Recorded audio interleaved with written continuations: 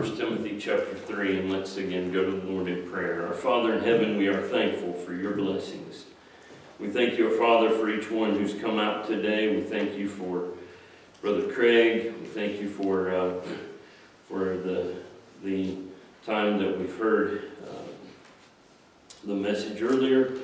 Lord, for the uh, time of fellowship we've had with one another, for the singing. Lord, for the prayers of your people. Lord, we thank you for this time of worship. And now, even as we continue on in the worship service and into this, uh, this time of worship in the preaching of your word, Lord, I pray that you'll, uh, that you'll uh, be with me as I, as I preach. Lord, I pray that, uh, that your word will be presented in truth and received as such. Lord, I pray that that your word will find a lodging place in the hearts and the minds of your people. I ask, Lord, that, that uh, each one will be strengthened and edified and encouraged. Lord, and I pray that uh, any here who know thee not, that today may be the day that they come to know you as their Savior. Lord, I pray for those who could not be here. I think of, uh, of uh, Sister Jill, Sister Tina, pray that you'll be with them. I think of Brother Isaiah. I pray that you'll be with him in a, in a special way as he's away from us. I pray for uh, Sister Brenda. I think of uh, those that, uh, that are away uh, because of distance. I think of uh, Brother Nino, Sister Elsie, Brother Sam, and Sister Zelda. Lord, I pray for them. I ask that you'll be with those that have been mentioned for prayer on the prayer list. Lord, I, I pray for uh, Brother Malcolm, even as he was on his way here, and uh, the wreck that they saw. And I, I thank you for, uh, for watching over them as they traveled, but I pray for the, that uh, family that uh, may have been involved and the, the, the, family of the one who lost their life. Lord, I just pray for, uh, for the first responders, Lord, I thank you for them, and I pray that you'll uh, work in their lives, even as they work hard uh, on a day like this. And I pray that you'll uh, work in their lives and the things that they need uh, physically, but ultimately spiritually, Lord. I pray, our Father, that you'll bless us uh, the remainder of the service and on into the business meeting. Lord, use us for thy name's only glory, that we may be a light and a testimony in this world that we live in. Forgive us of our sins and our shortcomings, for it's in Jesus' name we pray. Amen.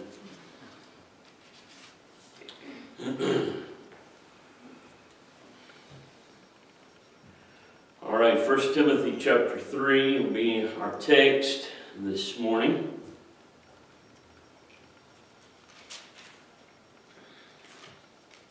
We'll be reading verses 14 through 16. And so if you have your copy of God's Word, turn there and read 1 Timothy 3, verses 14 through 16. It says, These things write I unto thee, hoping to come unto thee shortly. But if I tarry long, that thou mayest know how thou oughtest to behave thyself in the house of God, which is the church of the living God, the pillar and ground of the truth, and without controversy.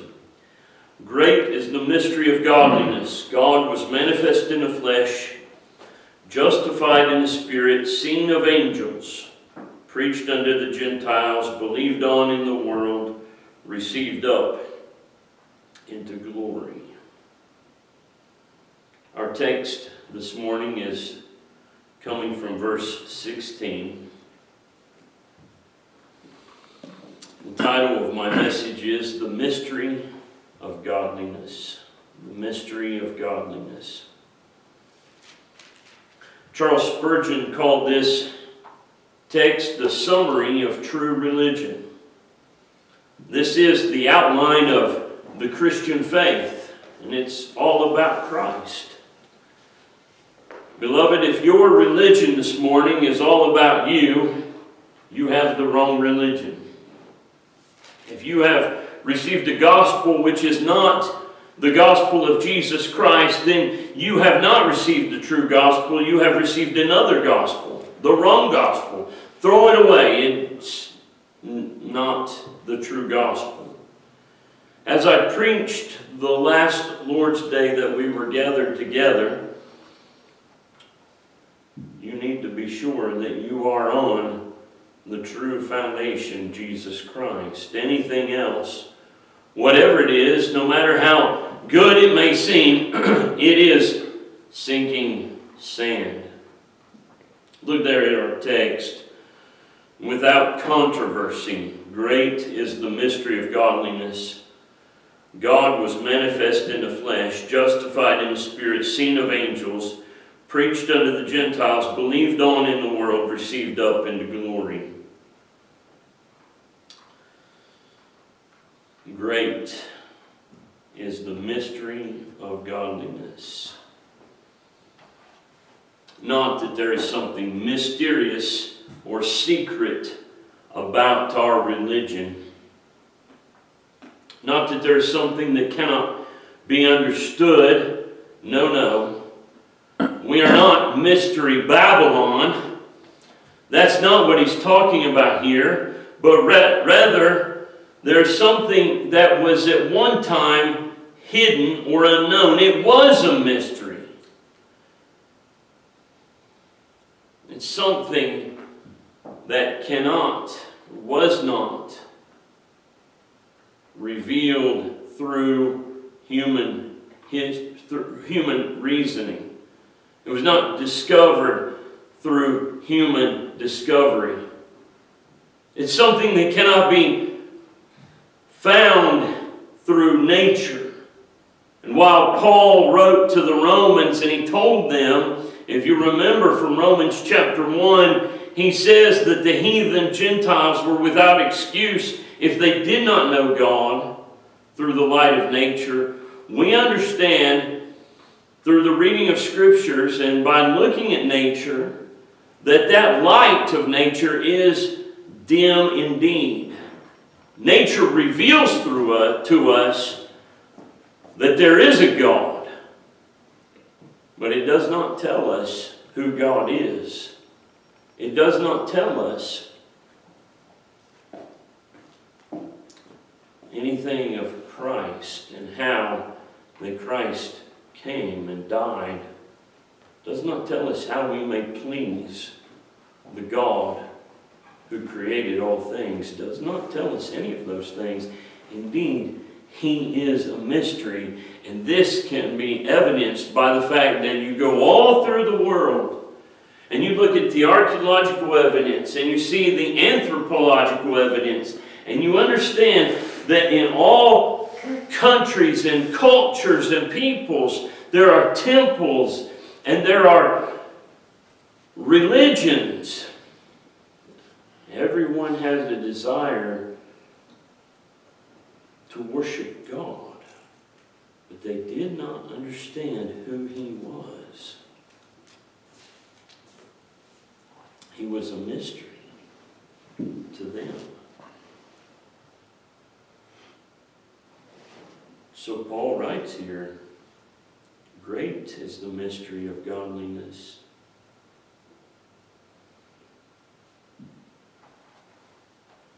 How can we know this mystery?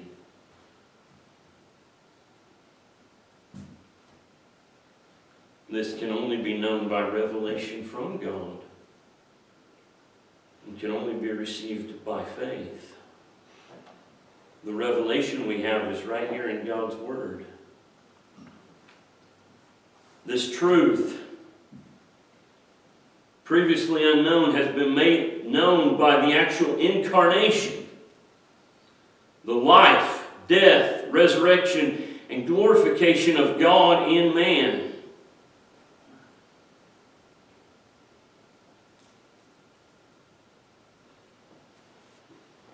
As he brings out here in this text. He wrote to Timothy and said, But if I tarry long, thou mayest know how thou oughtest to behave thyself in the house of God, which is the church of the living God, the pillar and ground of the truth. Building on the message from last week, so long as the church remembers its foundation, the church is the pillar and ground of the truth. The foundation is in Christ. This is the most important message we preach. And so, first of all, this mystery of godliness, God was manifest in the flesh. God was manifest in the flesh. And if you want to, if you want my outline, you'll begin to see it right there in the text. God was manifest in the flesh, point number one. In this, Paul is bringing out not only our Lord's birth, we know that that's on the subject of a lot of people's lips, that's on a lot of people's lips today. Tomorrow, that's part of it, but also his life here on earth. I chose this text today. You know, normally I am in Mark's Gospel on Sunday mornings. But it's okay to every once in a while go to another text and expound that.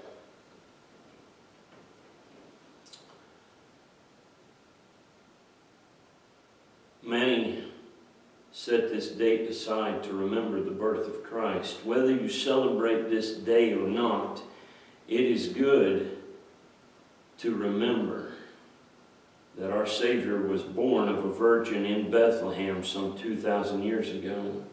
We don't know the date. We are unaware of when it was. But notice, Paul writes here under the inspiration of the Spirit, without controversy, great is the mystery of godliness. God was manifest in the flesh. This had to happen. Amen. This had to happen. The birth of our Lord was different. This was God manifest in the flesh. In Matthew chapter 1, hold your place there in 1 Timothy, we'll be coming back. But in Matthew chapter 1, verses 18 through 25.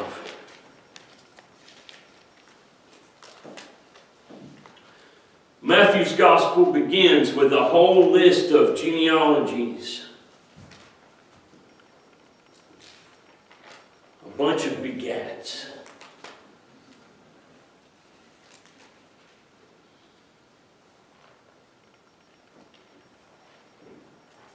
Forty-one generations I count.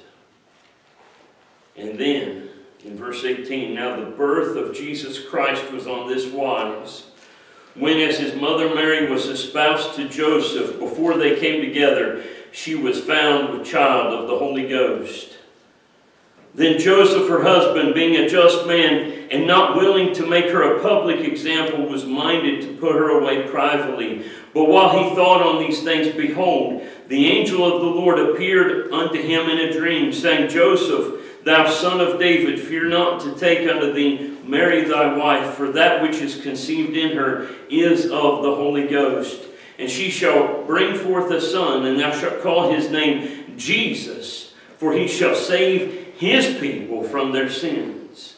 Now all this was done that it might be fulfilled, which was spoken of the Lord by the prophet, saying, Behold, a virgin shall be with child, and shall bring forth a son, and they shall call his name Emmanuel, which being interpreted is God with us. Then Joseph, being raised from sleep, did as the angel of the Lord had bidden him, and took unto him his wife, and knew her not, till she had brought forth her firstborn son, and he called his name Jesus.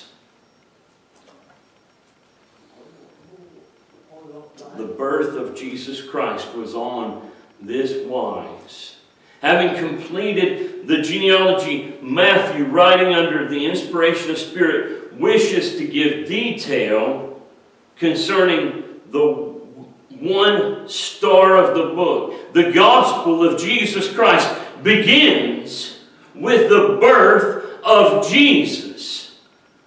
He's the one he is writing about, the reason he is writing it all, the reason why you and I are here today. The reason, beloved, why he was able to go to the cross to die for your sins and mine is because he was the only one who was born, yea, conceived of a virgin. Amen. The God man, Christ Jesus. This conception, this birth, was different than anything the world had ever seen before, yea, different than anything that has ever happened since. Some 41 generations prior, a man fathers his son and so on in the normal biological manner. You can go back and you can read it, you can study it.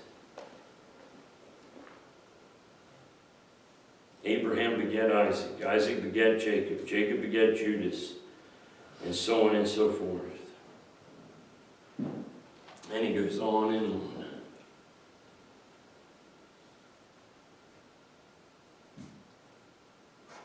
Matthew records that. That's the way it always was. That's the way it had been. But the birth of Jesus did not happen that way.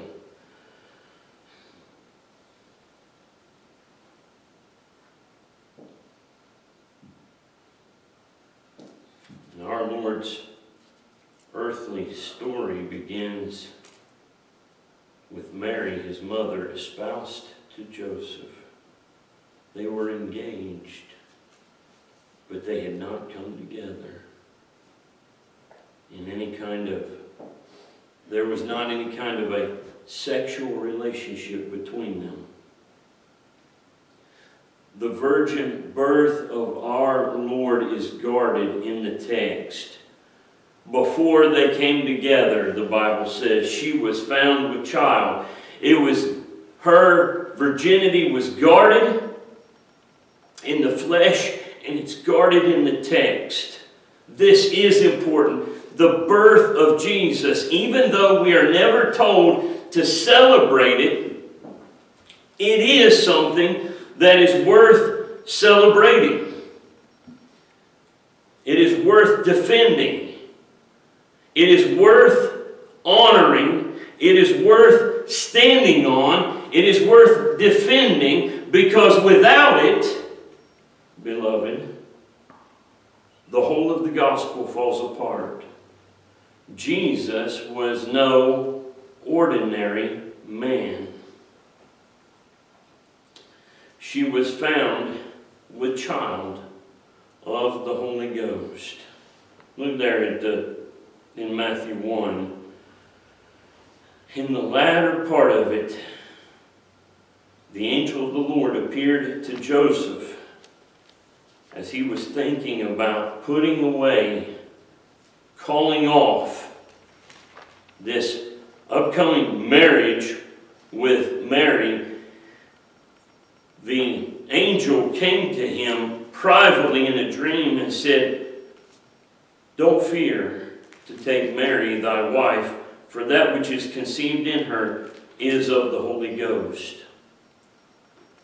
I don't understand everything about this. But all I know is that she was she was impregnated in a way such that such that the child within her was Jesus Christ and he had no human father. This is much different language that happened with John the Baptist. You know, the angel said to Zacharias, the father of John the Baptist, uh, we won't turn there for time's sake, but in Luke chapter 1, verse 13, he said to, to Zacharias, he said, Thy wife Elizabeth shall bear thee a son. You see the difference? Jesus had no physical, earthly father. It had to be that way. Jesus was born of the Virgin. Christ's conception. And, and, and, and while, and notice I'm putting an emphasis on the conception because I believe this is important. His birth, his birth was a miracle, yes, but his birth was very similar to any other birth. I mean, she, he was delivered in the same way that all other babies were delivered. She, he, he, he, he came just like any other, but it was his conception where the miracle was at. It's important to point that out to folks, not only because he was conceived of a virgin, but also because life begins at conception. Amen. That's where life is at. And because of this, because he had no earthly father, he did not inherit the sin nature that we did. Look over there at Luke chapter 1 and verse 35. Luke chapter 1 and verse 35. And the angel answered and said unto her, The Holy Ghost shall come upon thee, and the power of the highest shall overshadow thee. Therefore also that holy thing which shall be born of thee shall be called the Son of God. Look at that. That holy thing which shall be born of thee shall be called the Son of God. He did not have the sin nature that we do. You and I, you and I, we inherit the sin nature. We've all been born that way, but Christ was not. In fact, in Romans chapter 8, verse 3, the Bible says, For what the law could not do, in that it was weak through the flesh, God sending his own Son in the likeness of sinful flesh and for sin, condemned sin in the flesh. Jesus came in the likeness of sinful flesh, but he was not sinful. He was not sinful. His conception, his conception was in a way in which protected his nature from defilement with depravity. And listen, folks, let me just say this, and then I, I, I promise I, I, I, I don't plan to say any more about it. But regardless of where you stand on the Christmas holiday, this season, I know we're almost over it now, but this season brings us an opportunity to point this fact out that this is what's important about it. And, and, and oftentimes when people talk to us about Christmas, some people, I don't celebrate Christmas, but some people on our side of the issue who don't celebrate, they become missionaries to tell why we don't celebrate it. So they go through the whole world, all over Facebook and everywhere, becoming missionaries, telling about why we don't celebrate Christmas. And, and spend more time giving the encyclopedia and all of that as to the background about Christmas.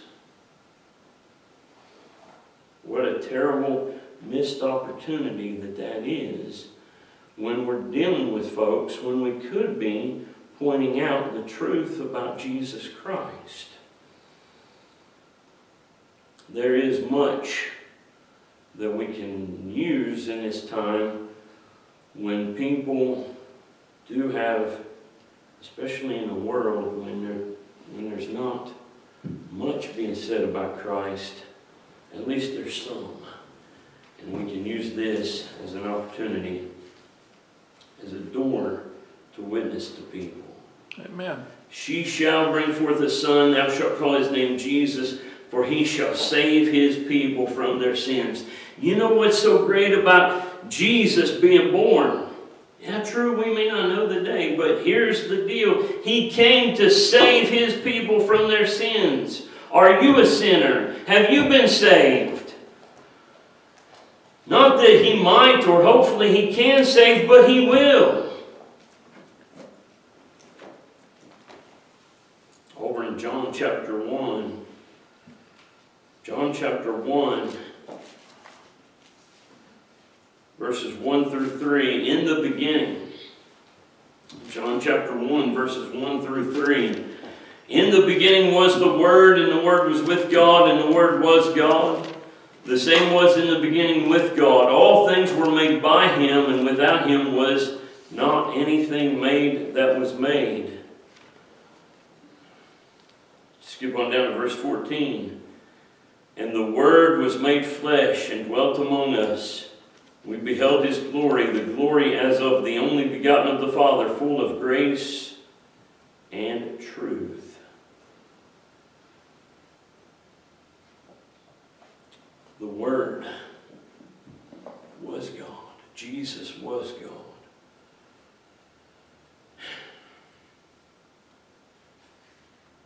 And the Word was made flesh and dwelt among us. We must not think of Jesus becoming man in the same way that the water was turned into wine. No, no. God above, the very creator of the world, became a babe in a manger, but he never ceased to be God. Great is the mystery. Spurgeon put it this way He was abundantly manifest among the multitudes. And before his disciples during the latter part of his life, he was God in miracles most plenteous, but he was man in sufferings most pitiable. He was the Son of the highest, and nevertheless a man of sorrows and acquainted with grief. He trod the billows of the obedient sea, and yet he owned not a foot of land in all Judea. He fed thousands by his power, and yet all faint and weary he sat upon a well and cried, Give me to drink. He cast out devils, but was himself tempted of the devil. He healed all manner of diseases, and was himself exceeding sorrowful even unto death. Winds and waves obeyed him. Every element acknowledged the august presence of deity, yet he was tempted in all points, like as we are. Our Lord's manhood was no phantasm, no myth, no mere appearance in human shape. Beyond all doubt, the Word was made flesh and dwelt among us. Handle me and see, saith he. A spirit hath not flesh and bones as ye see me have. Reach hither thy finger, and behold my hands. And reach hither thy hand, and thrust it into my side, and be not faithless, but believing. Yet with equal certainty God was manifest in him. As the light streams through the lantern, so the glory of God flamed through the flesh of Jesus. And those who were his nearest companions bear witness. We beheld his glory, the glory as of the only begotten of the Father, full of grace and truth. End quote. Yes, God was manifest in the flesh. And it became more evident, more extraordinary, when our Lord, the very creator of heaven and earth, condescended to be put to death on the cross by his own creatures. He was given a mock trial and condemned as guilty, the cruelest of crimes, the greatest of crimes. He was hung on a cruel cross. This is a great mystery to consider, only revealed in Scripture and believed on in faith. He hung there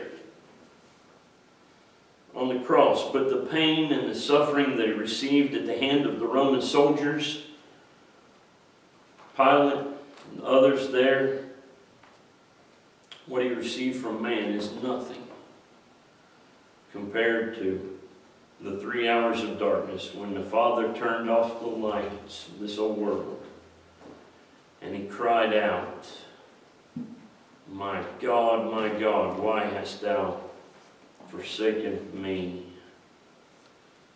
For it was there, it was there on that cross that he suffered the hell that you and I deserve.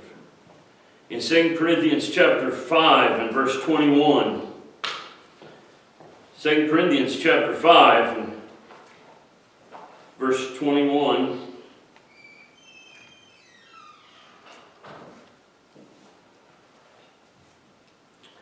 says, For he hath made him to be sin for us who knew no sin, that we might be made the righteousness of God in him.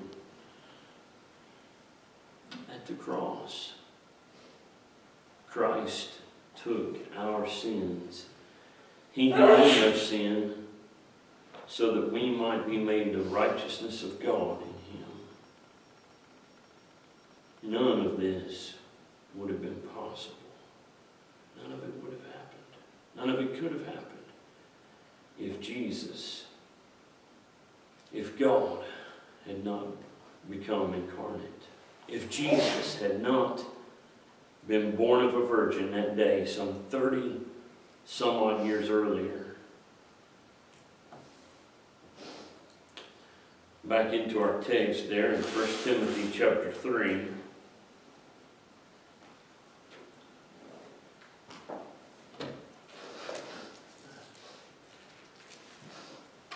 Verse 16, without controversy, great is the mystery of godliness. God was manifest in the flesh, justified in the Spirit. Secondly, we see he was justified in the Spirit. Justified in the Spirit. This is speaking of, I believe, of the Holy Spirit. We see the Holy Spirit bore witness of Christ throughout all his life here on earth. In Luke chapter 1 and verse 35, we already uh, made mention of this, but I'll, I'll look at it again. Luke 135 the angel answered and said unto her, The Holy Ghost shall come upon thee, and the power of the highest shall overshadow thee. Therefore also that holy thing shall be born of thee shall be called the Son of God. Uh, at his birth, we see the Holy Ghost uh, was there, bearing witness of who Jesus was. Uh, over in the book of Matthew, chapter 3, Matthew chapter 3 and verse 17.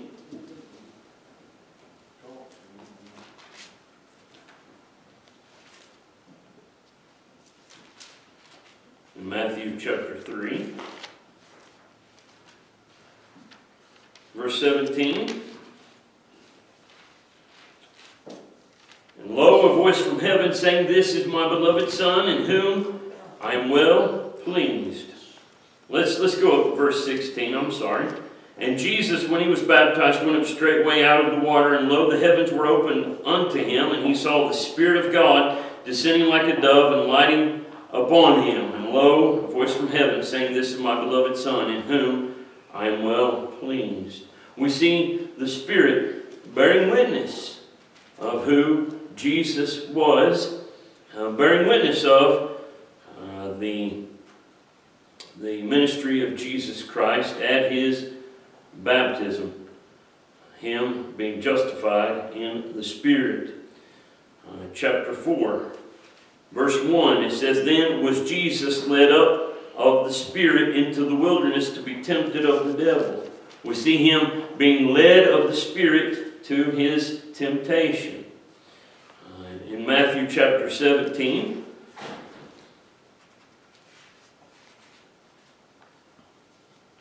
Matthew chapter 17 and verse 5.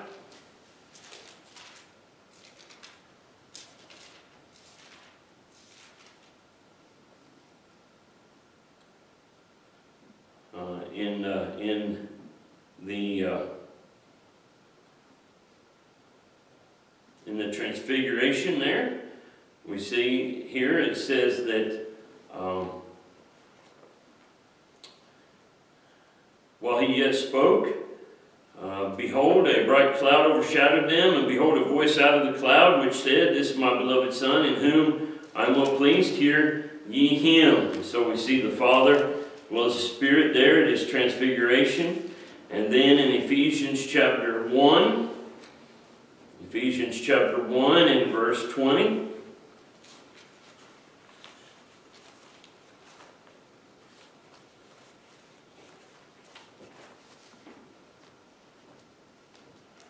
Ephesians 1.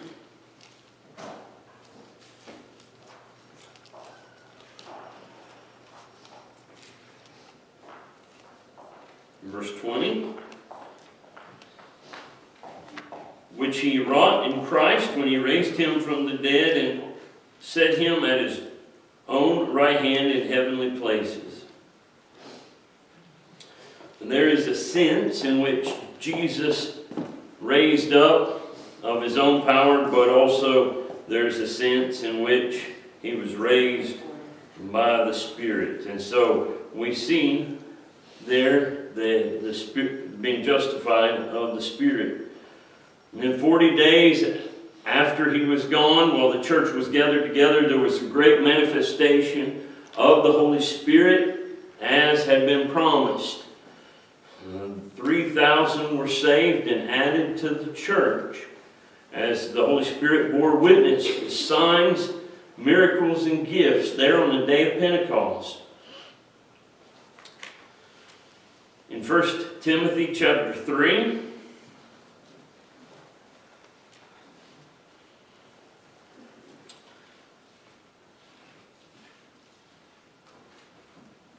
Back to our text there in verse 16.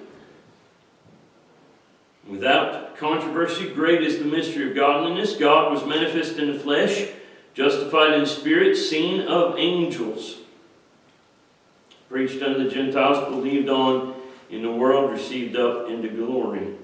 He was seen of angels. Through the veil of his flesh, even while he was walking on this earth, the angels saw the infinite and eternal God, and they recognized him for who he was. These are a few of the examples that we find in the scriptures. Uh, in his birth in Luke chapter 1, Luke chapter 1, verses 26 through 28, look at this here with me.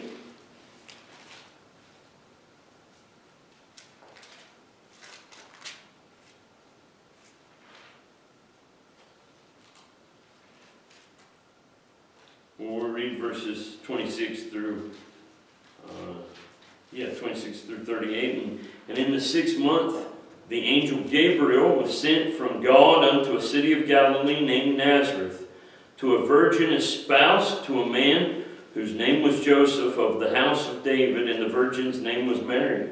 And the angel came in unto her and said, Hail, thou art highly favored, the Lord is with thee, blessed art thou among women. And When she saw him, she was troubled at his saying, and cast in her mind what manner of salutation this should be. And the angel said unto her, Fear not, Mary, for thou hast found favor with God. And behold, thou shalt conceive in thy womb, and bring forth a son, shall call his name Jesus. He shall be great, shall be called the Son of the Highest, and the Lord God shall give unto him the throne of his father David. He shall reign over the house of Jacob forever, and of his kingdom there shall be no end. Then said Mary unto the angel, How can how shall this be, seeing I do not know a man? And the angel answered and said unto her, The Holy Ghost shall come upon thee, and the power of the highest shall overshadow thee.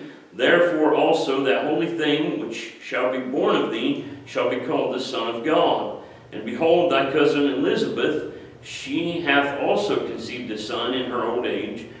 This is the sixth month with her, who was called barren, for with God nothing shall be impossible. And Mary said, Behold, the handmaid of the Lord, Be it unto me according to thy word. And the angel departed from her. So we see the angels uh, saw him. Uh, seen of angels. Uh, not only that, but also uh, when he was tempted, there in Matthew chapter 4. Matthew chapter 4, verse 11 says, Then the devil leaveth him, and behold, angels came and ministered unto him. The angels are ministering spirits, the Bible tells us, and for sure the angels were ministering unto him. He was seen of angels. Uh, we could talk about the angels being at the Garden of Gethsemane, and we could talk about some other things, but I want to go all the way up to his glorious resurrection in Matthew, um, or uh, Matthew chapter 28. Let's praise God, when he died and was buried, he did not stay in the grave. And uh, he did not remain dead. And in Matthew chapter 28,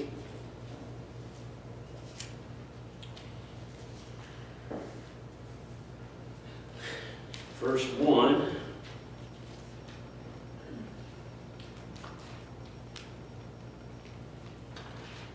As we remember our Lord who preached the gospel, the gospel is not complete without the resurrection. The angels were witness of that. In Matthew chapter 28, beginning of verse 1, it says, in the end of the Sabbath, as it began to dawn toward the first day of the week, came Mary Magdalene, the other Mary, to see the sepulchre. Behold, there was a great earthquake. For the angel of the Lord descended from heaven, came and rolled back the stone from the door and sat upon it. His countenance was like lightning, his raiment white as snow, and for fear of him the keepers did shake, and became as dead men. the angel answered and said unto the women, Fear not ye, for I know that you seek Jesus, which was crucified. He is not here, for he is risen. As he said, Come see the place where the Lord lay, and go quickly and tell his disciples that he is risen from the dead. And behold, he goeth before you into Galilee. There shall you see him. Lo, I have told you. See, the angels had to be there. They had to be there. They, they, they were witness to what happened. They had to be there. The stone was rolled away, not so that Jesus could get out, but that stone had to be moved so that the women could get in, so that they could see what was inside. And the angels were there so that they could explain to the women and give instruction from our God. Praise God that this is recorded for us.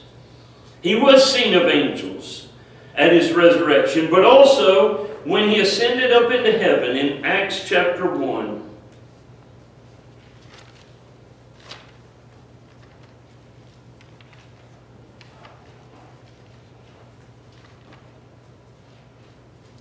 Acts chapter 1, verses 9 through 11. And in Acts chapter 1, verses 9 through 11, it says, And when he had spoken these things, while they beheld, he was taken up, and a cloud received him out of their sight. while they looked steadfastly toward heaven as he went up, behold, two men stood by them in white apparel, which also said, Ye men of Galilee, why stand ye gazing up into heaven? This same Jesus, which is taken up from you into heaven, shall so come in like manner as you've seen him go into heaven. He was seen of angels. They were there. They were there. As the disciples received their, uh, they, they, were there. They were they were uh, you know asking him questions. Uh, uh, questions like, "Hey, are you going to restore the kingdom to Israel yet? What's going on here?" And then when he had spoken these things, they beheld, and a cloud took him up out of their sight. You know, Jesus could have left and, and, and, and been gone.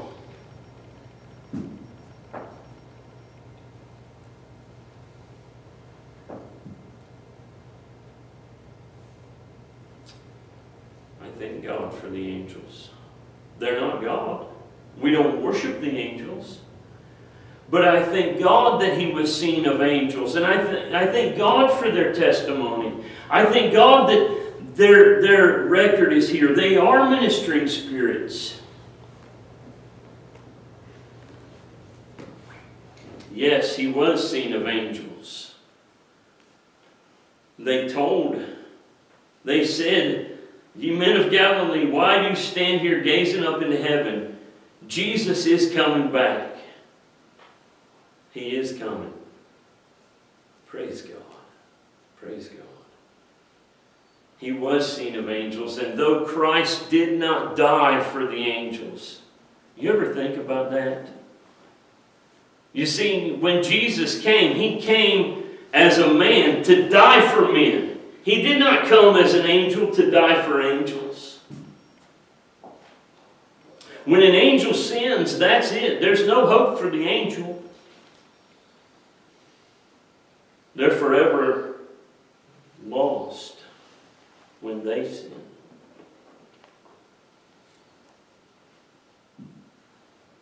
He was seen of angels. And although it, Christ did not die for them, there are things that the